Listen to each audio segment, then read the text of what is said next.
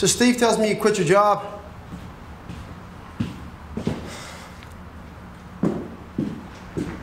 Yeah. So where are you going, baby bro?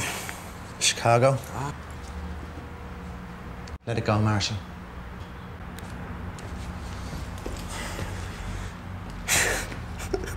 You really think a scruffy, ignorant, Mick immigrant's just gonna waltz in there and sweep her off her feet? Yeah? Yeah. You're such a dreamer, man. You, you, you're such a dreamer. I used to dream. You know that? I used to close my eyes and whisper into the darkness, hoping someone was listening, talking back to me. And you know what, Marshall?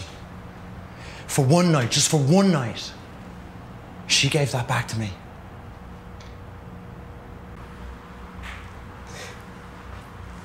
So you're gonna go looking for a woman you spent one night with over 10 years ago? Yeah.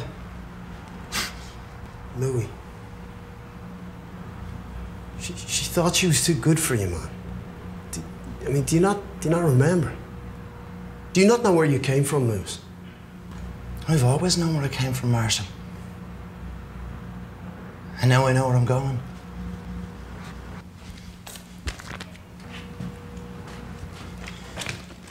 Leave yourself out, yeah?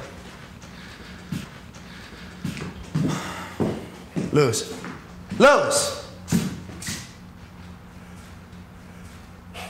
You know, we're still missing one Mad Connelly, brother.